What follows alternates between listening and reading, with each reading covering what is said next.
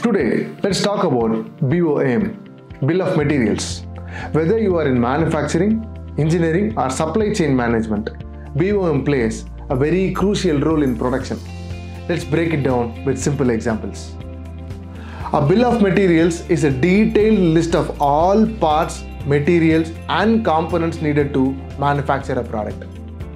Think of it like a recipe for making a dish. It tells you exactly what ingredients you need, in what quantity, and how they fit together. There are different types of bill of materials available in the market depending on the industry use.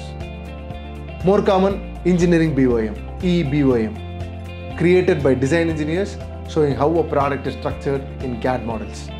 Next would be manufacturing BOM, MBOM, used on the factory floor, listing all the parts, sub-assemblies and raw materials required for production. Service BOM, SBOM, used in maintenance, detailing spare parts needed for repairs and servicing. BOM is essential in many industries. Firstly, automotive, of course, used in car manufacturing to track every part from engines to screws. Electronics, essential for assembling circuit boards, listing every components from resistors to processors. Construction, used to estimate materials for buildings from cement to wirings. Retail and e-commerce business helps to manage inventory for products that require multiple components.